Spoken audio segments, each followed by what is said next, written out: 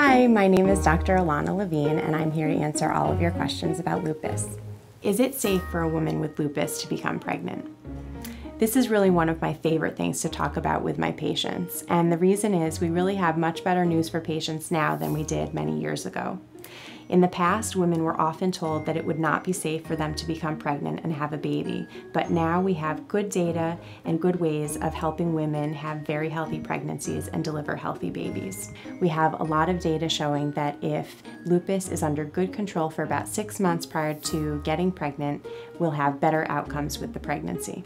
Many of the medicines used to treat lupus are not safe during pregnancy, but we have many that are, so we can switch people over from the unsafe medicines to a safer medication, and this ensures a better outcome for both the patient and her baby. I really hope I've helped you to better understand lupus today. But if you have more questions, you can visit lupusresearch.org for more information.